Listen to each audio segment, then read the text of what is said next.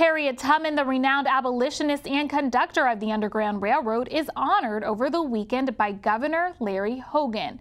Officials gathered at the Harriet Tubman Museum to commemorate her 200th birthday on Saturday. A Maryland native, she helped countless people escape the horrors of slavery.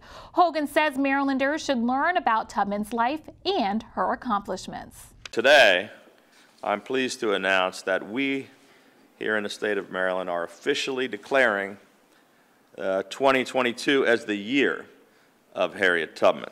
We're so proud to have a statue of Harriet Tubman in the governor's mansion in Annapolis, and we recently had commissioned and erected a statue in our historic State House in the old Senate chamber, in the old House chamber, to commemorate her many contributions to our state and to the nation.